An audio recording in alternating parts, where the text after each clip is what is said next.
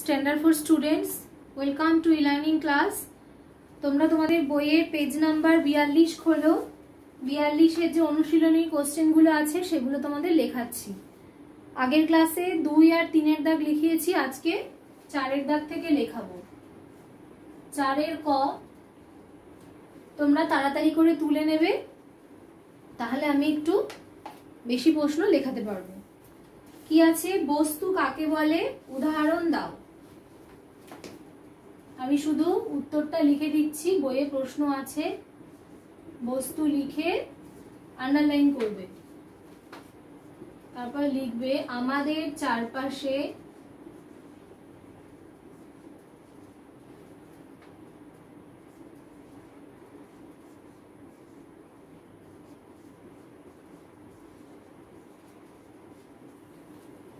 কোনো না কোনো পদার্থ দিয়ে গঠিত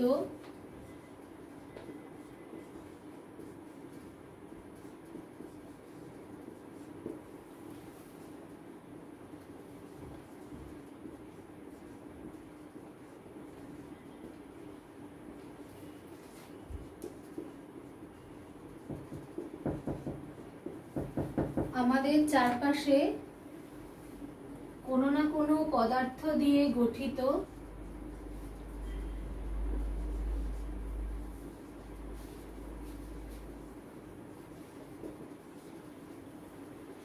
যেসব জিনিস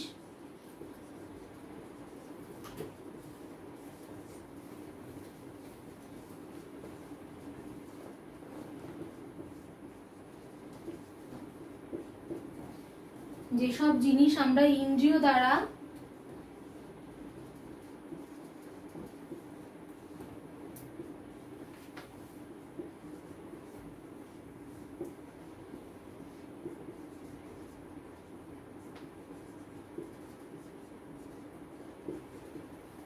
অনুভব করতে পারি।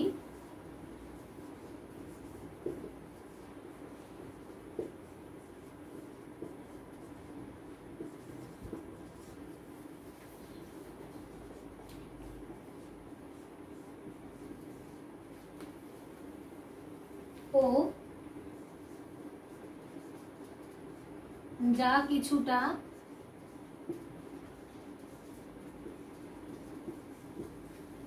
স্থান দখল করে থাকে।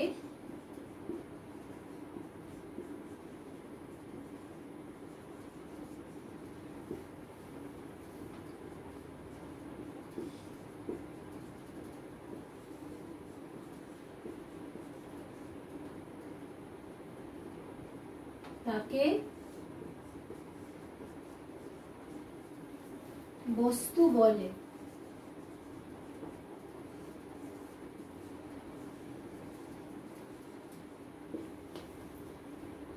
যেমন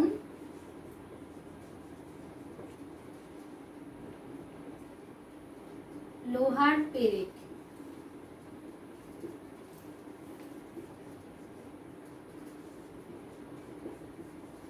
লোহার পেরেক একটা বস্তু। এখানে পেরেক হলো বস্তু। এখানে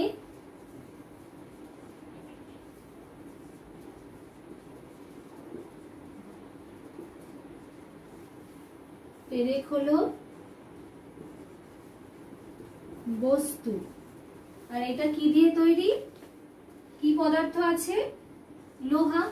ও তাহলে কি লিখব? ও লোহা হলো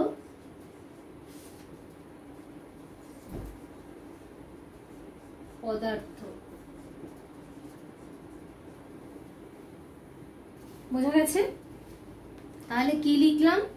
আমাদের, দেখবে একবার আমি বলে দেব, বস্তু কাকে বলে? এটা ধরো একটা তিন মার্কের কোশ্চেন হলো, বস্তু কাকে বলে? উদাহরণ দাও। দুই যোগ এক, তিন মার্কের কোশ্চেন কি লিখবে? আমাদের চারপাশে কোনো না কোনো পদার্থ দিয়ে গঠিত যে সব জিনিস আমরা ইন্দ্রিয় দ্বারা অনুভব করতে পারি ও যা কিছুটা স্থান দখল করে থাকে, তাকে বস্তু বলে। যেমন, লোহার পেরেক এখানে পেরেক হলো বস্তু ও লোহা হলো পদার্থ। ঠিক আছে? পরের কোশ্চেন কি আছে? কঠিন পদার্থ কাকে বলে? তাহলে এটা মুছে দিই।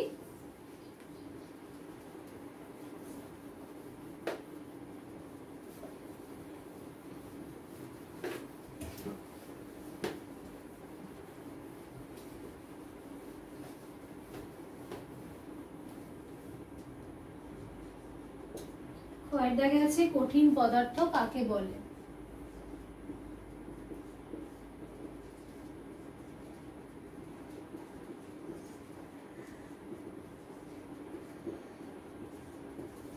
কঠিন পদার্থ।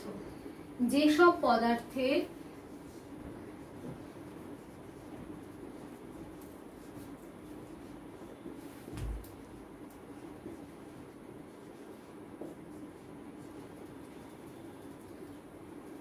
গড়ন বেশ।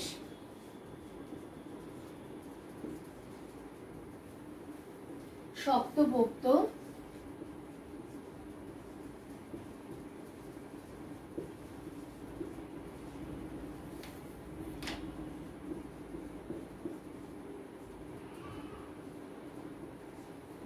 এবং নির্দিষ্ট আকার ও আয়তন আছে।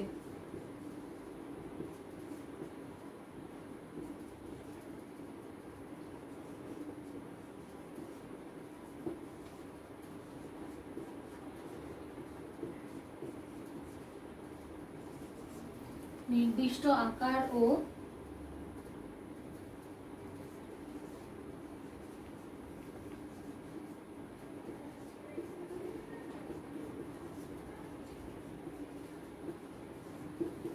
আয়তন আছে তাদের কঠিন পদার্থ বলে।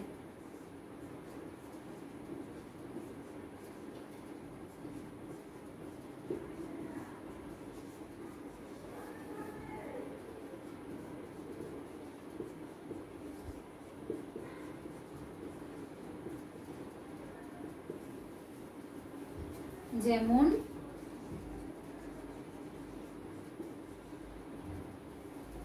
ইট কাঠ বালি পাথর ইত্যাদি।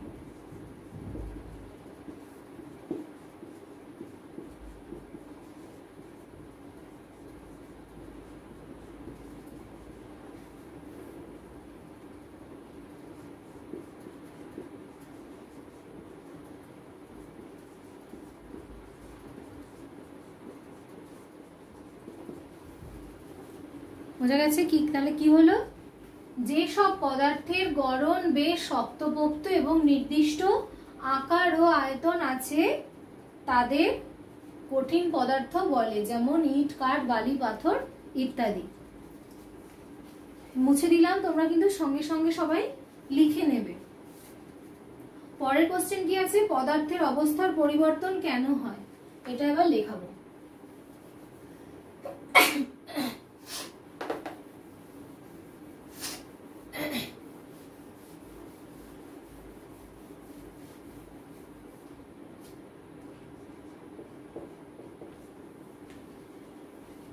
পদার্থের অবস্থার পরিবর্তন কেন হয়? কি লিখবে? তাপ ও চাপের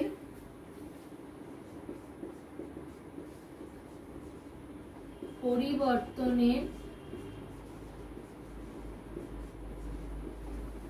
কারণে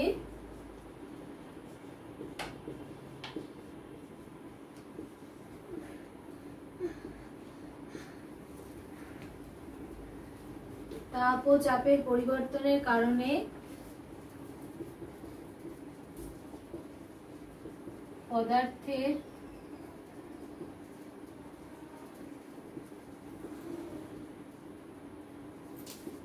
অবস্থান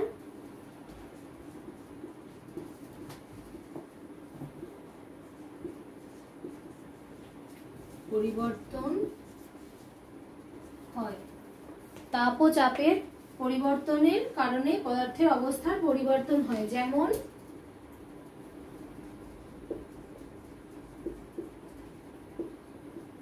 বরফ একটি, যদি তোমাদের এটা দু মার্কের থাকে যে পদার্থের অবস্থার কেন পরিবর্তন হয় তাপ ও চাপের পরিবর্তনের কারণে পদার্থের অবস্থার পরিবর্তন, এটা লিখবে।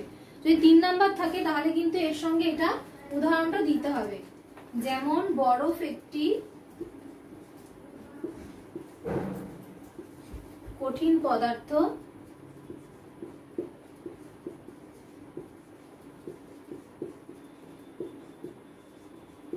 বরফ একটি কঠিন পদার্থ সেটিকে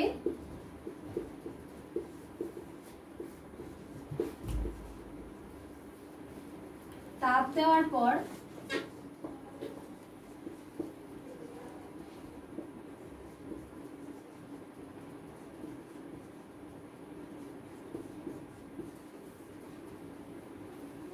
জলে অর্থাৎ তরলে পরিণত হয়।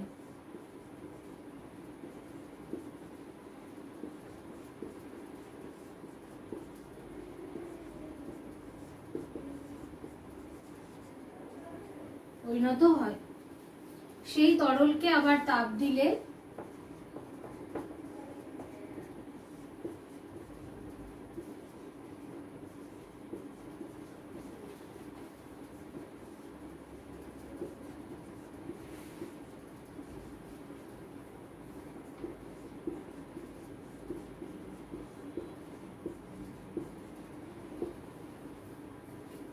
জলীয় বাষ্প বা গ্যাসে পরিণত হয়।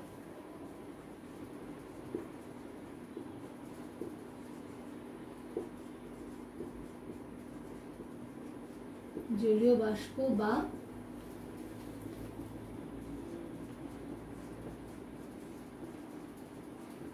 গ্যাসে পরিণত হয় তাহলে বোঝা গেছে? তাপ ও চাপের পরিবর্তনের কারণে পদার্থের অবস্থার পরিবর্তন হয়। যেমন বরফ একটি কঠিন পদার্থ, সেটিকে তাপ দেওয়ার পর জলে, অর্থাৎ তরলে পরিণত হয়। সেই তরলকে আবার তাপ দিলে জলীয় বাষ্প বা গ্যাসে পরিণত হয়। তাহলে আজকের ক্লাসে এই পর্যন্ত থাক। গয়ের দাগ। নেক্সট ক্লাসে ঘয়ের দাগ থেকে লেখাবো। সবাই খুব ভালো থাকবে। Thank you.